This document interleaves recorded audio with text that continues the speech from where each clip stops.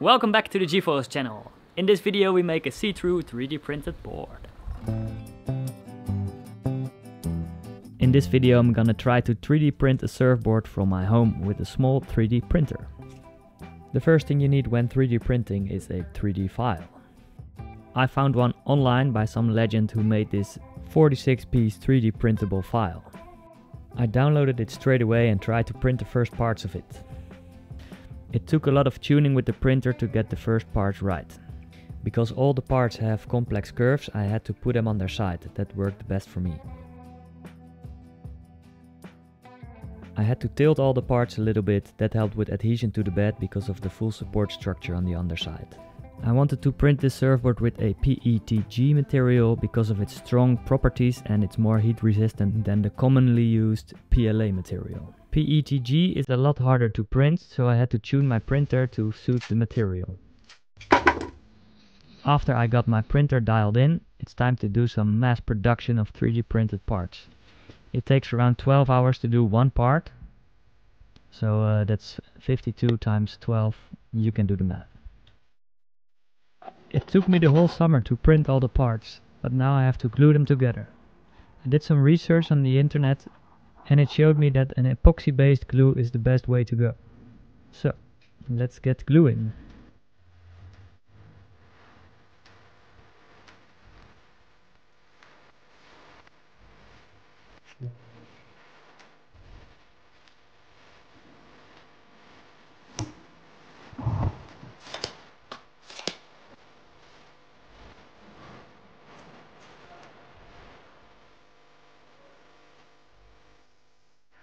Now that I've glued all the pieces into two halves, it's time to put them together. The 3D file is designed so that you can put a stringer in between the two halves. I'm gonna use fiberglass to connect the two pieces of board and make a strong stringer. First I have to sand the plastic to make sure the epoxy sticks to it. Then I add the epoxy to the fiberglass and clamp the two halves together with pegs that you normally use for hanging your laundry. Now that the two halves are glued together and reinforced by a fiberglass stringer, I have to think of a way to let the board breathe. When this board is finished, it consists of a lot of hollow chambers. The air in these chambers will expand when the board gets hot, potentially causing a delamination of the fiberglass. So I pierced holes in every chamber with a hot nail. I later found out that a soldering iron works way better. Now the air eventually can get out of the board by a vented leash plug that I put in later. The frame's now finished, so it's time to start the lamination process. I'm gonna do this tail piece over the fin boxes.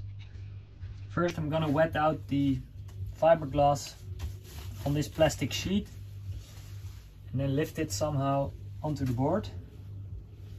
And while it's still wet, I'm gonna cut it, so I have to clean my scissors afterwards pretty quick. We'll have to see if it works.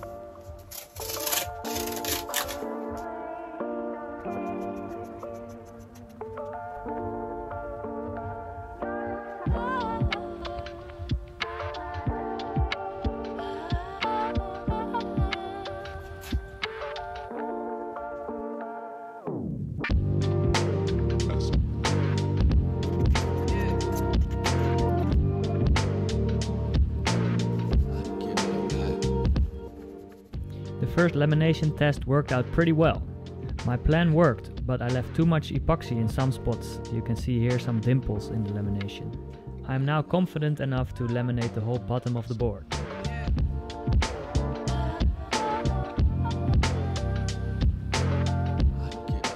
Laying down the cloth onto the frame was quite hard on my own, so for the deck lamination I'm gonna ask my girlfriend to help me.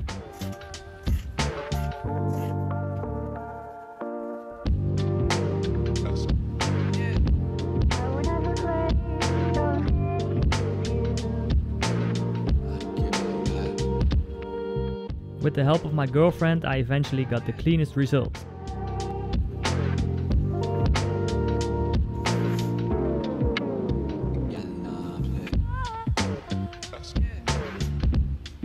After one layer of 4 ounce glass, the floating pieces of fiberglass are not strong enough, so I'm gonna do another layer.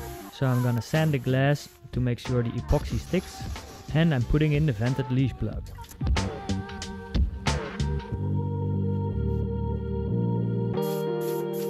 I prepare the board for a normal way of glassing and start the glassing process.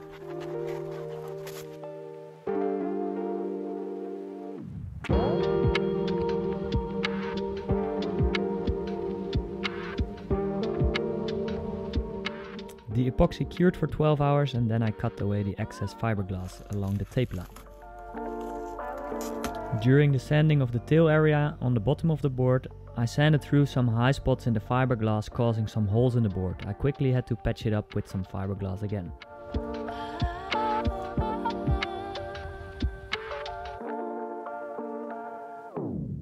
After fixing all the holes in the bottom of the board, it is time for a second layer of fiberglass.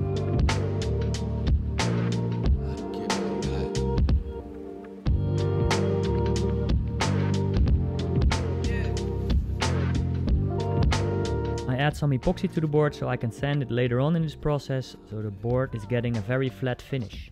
This is called a sand coat.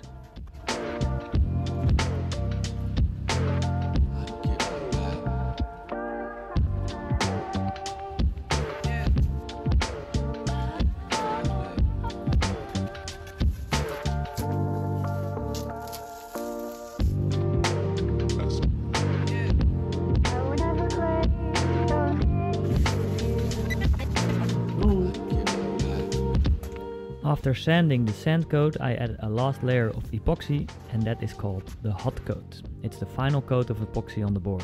That will be sanded with very fine grit and after that your board is finished.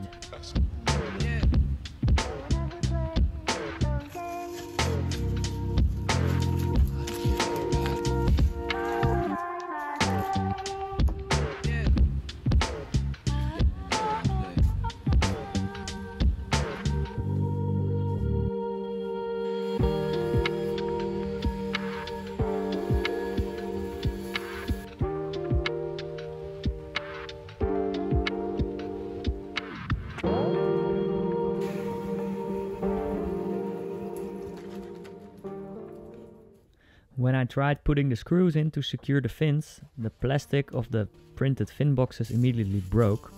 So I decided to glass the fins in the fin boxes so they are fixed permanently. I polished the board off camera and I'm now showing you the finished product.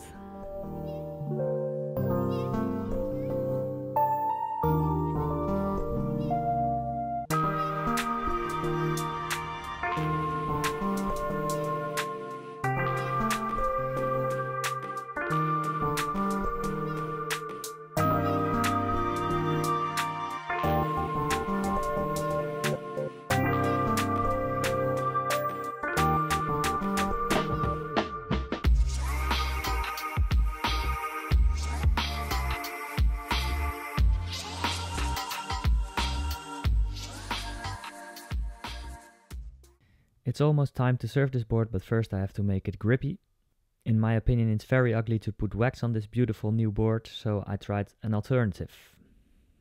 I reached out to Van der Waal and they kindly sent me a package of hexagon grip stickers that you can put on your deck. It looks great because it's see-through, but I hope it provides the same grip as normal wax. There's one way to find out. Let's hit the water.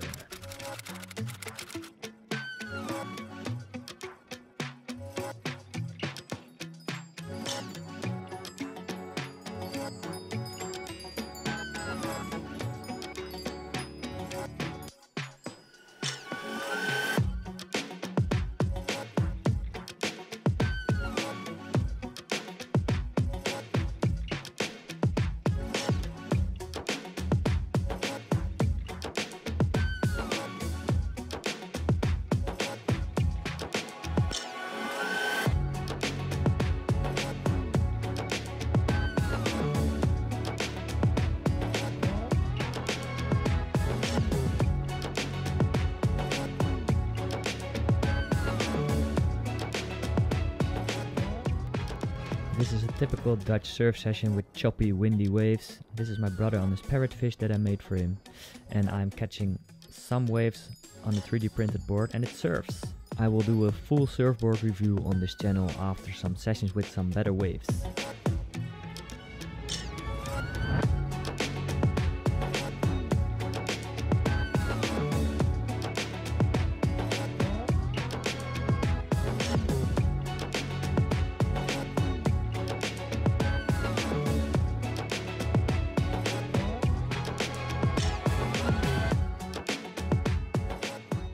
In these conditions the board didn't work very well because you can see it's very slow, it doesn't drop in by itself.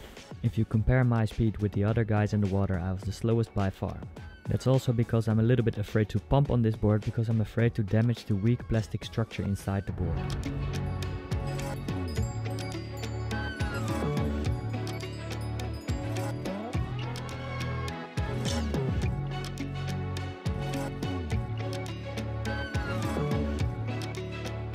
When I got out of the water and picked up the board, I noticed that there was water in one side of the board. No.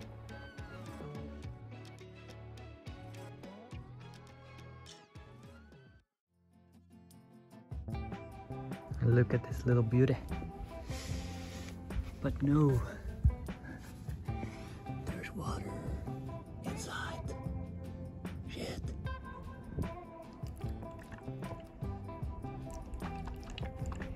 No! I found the origin of the leak. It's somewhere in these fin boxes. Fuck. So I have to try and drain this board, then fix the leak, then surf it again. I hope to see you guys soon in the next video. Thanks for watching.